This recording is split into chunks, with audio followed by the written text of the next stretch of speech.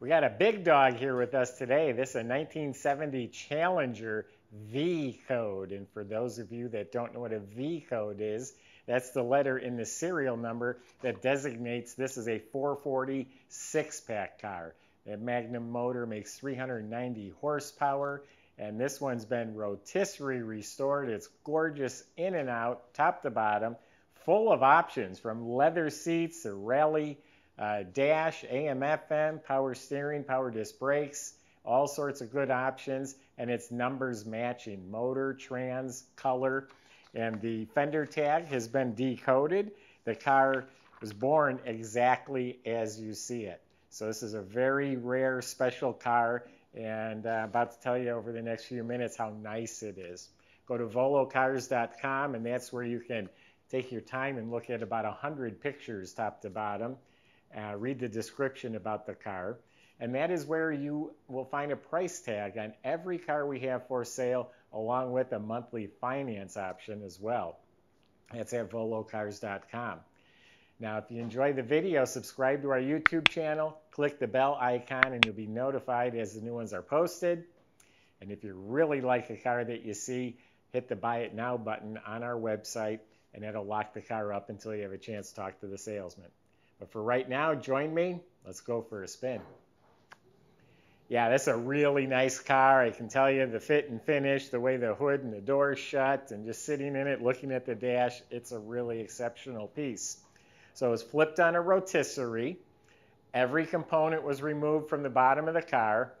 Uh, the bottom of the car is absolutely spotless metal. The floor pans, the rockers, the frame rails, all of it's clean metal. It was all prepped and restored and it was painted the same high gloss sublime green underneath the car. Every component was restored or replaced. The suspension up front is brand new looking. It's detailed, every bushing, you name it, it's all rebuilt. All the steering, suspension, uh, the rear suspension's redone. Does have air shocks on there now. Um, it has a nice dual exhaust system with a crossover pipe and the correct square tips coming out through the lower valence. Uh, brake system's completely redone. The e-brake cables, the lines, the hoses, you name it, has disc brakes in front. You're looking up at the motor, it's spotless. It's not stained, it's not dirty, it's not grimy. The motor is spotlessly clean when you look up at it. The starter, the fuel pump, all of that looks like new.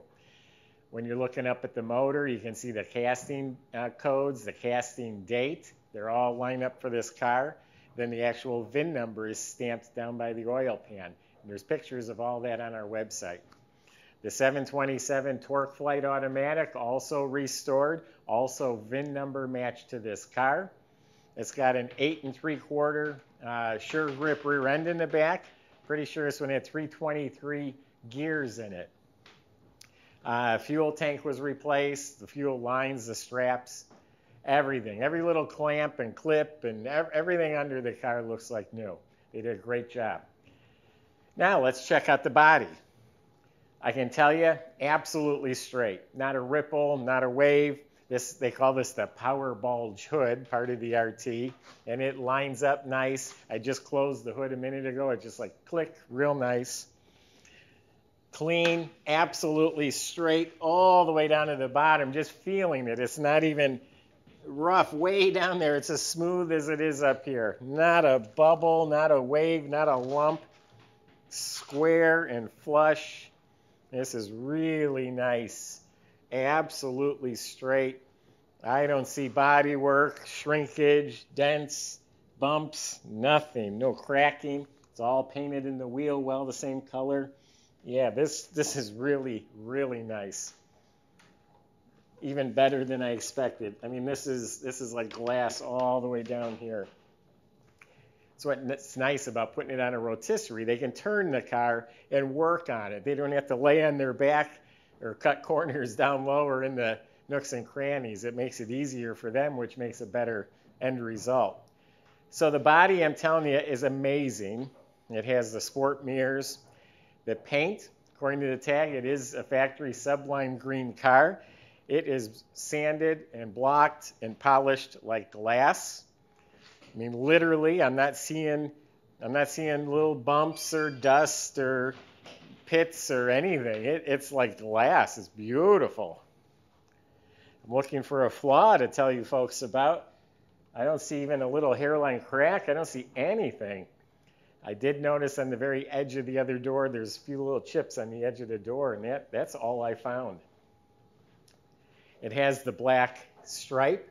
That's excellent. There's not a mark on it. That's probably a decal, I'm assuming. One variation I noticed from the fender tag, this also had the black stripes down the side. If you like those, that's a decal. Those can easily be put on. Has the pop-up gas cap, the racing cap, that looks new. Emblems look new. The Bumpers bright and shiny. The whole tail light, the lenses, the reverse light, all this is in really nice shape. All the trim is really nice. Really nice rear glass, couple really light scratches. All the stainless trim is either new or it's been restored. It's all straight, it's all fitting nice. It's not popping up in the corners, nothing like that. Windshield was replaced, door handles look new. Sitting on 15 by 7 Rallye wheels, they look new. The wheel, the caps, the trim rings, and of course reproduction tires are Polyglas uh, GT reproduction tires, front and back, F60s. Yeah, all the emblems are sparkling. Front bumper is beautiful. The grill, excellent shape. Correct antenna looks brand new. Yeah, it's a really nice car. It's even nicer than I thought it was. Let's open it up. We'll go through it. I'm going to show you a trunk that looks brand new as well. Look how nice it's painted. The latch looks new. The sticker was replaced. This car does have the light group, so it should have a trunk light here, which is missing. Uh, the jamb, the seams, all is real nice and clean. Correct weather strip, and it's installed properly. Now look at the whole trunk compartment. It's all gloss sublime green. Spare collapsible tires, never been used. The rim is real nice. It has the Chrysler air bottle, the base of the jack. There's the rest of the jack where it's supposed to be. It all looks brand new. Of course, we got a new mat. We got a new rear seat divider. This this trunk compartment is pristine, excellent.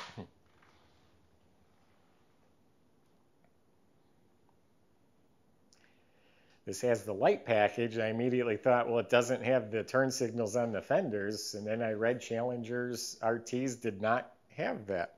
Cuda's did. Uh, door jambs are as slick as the outside. The weather strips are new. Uh, the door panels all look new. All the plastic trim in the car is really excellent. Looking at a pristine dash, the heater controls, has a rear speaker selector, the wood grain, the knobs. This is the Rallye dash. A tachometer, clock. Clock's not working. The rest of the gauges are. Factory AM FM radio. Uh, it doesn't turn on, so it's not hooked up, uh, but it has it, which also, it's a stereo, so it has the extra speakers and the dash pad up on top. And this dash pad, by the way, is in mint condition. I don't see any cracks. Everything's straight, fits nice, looks good. Kick panels, carpet, uh, RT mats, all that's real nice. Center console's in really nice shape. There's one small crack right here. I've seen them crack in that same spot before. Slapstick shifter. Wood grain looks new. Now, if you can tell, this is genuine leather on the seats, and it's glove soft. This is not hard leather. It's a factory option, and it's a six-way adjuster as well, so you can uh, you know, adjust the seat six, six different positions. That's a pretty rare option. So the back seat's vinyl. That's just how they did it. Uh, when you got leather, it was in the front only. But the side panels, all the plastic trim, the rear speaker shelf, all excellent. Headliner fits tight as a drum, no wrinkles. The dome light works. The visors, the mirror, all look like new. Deluxe steering wheel looks like it's brand new.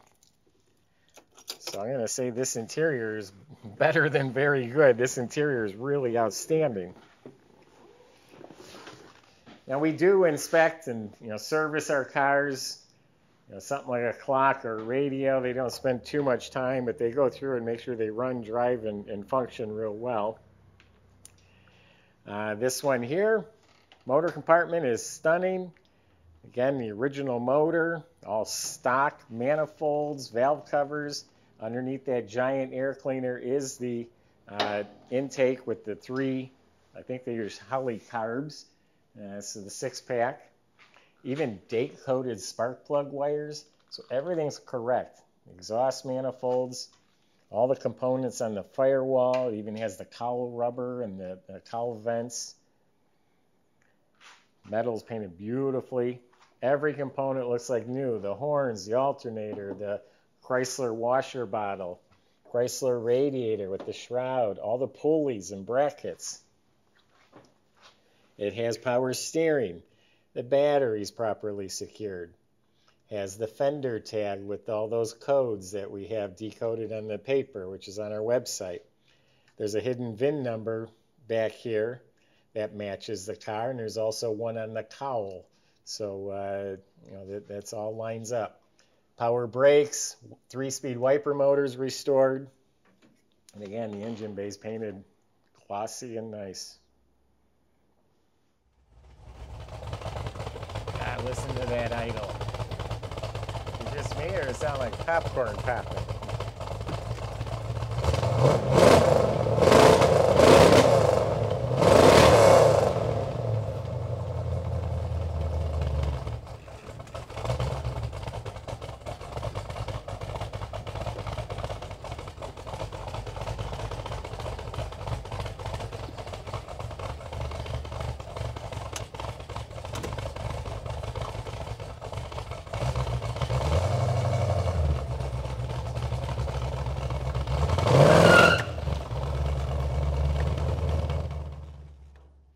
Know, that passenger door just closed beautifully. Watch how this closes.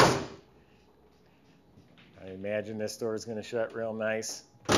It's a nice thing about this car. Not only can you say, oh, this, this, and this is new, but it all fits right. All the door weather strips are right. Again, the trim is not popping off in the corners.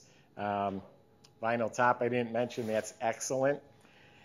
And I'm looking at our service. Uh, you know, every car is inspected. We fix the reverse lights. We replace the fuel sending unit, reposition the wipers. They were in the wrong place, recalibrated the speedometer so it's accurate, uh, fix the courtesy lights, and replace the door lock cylinders.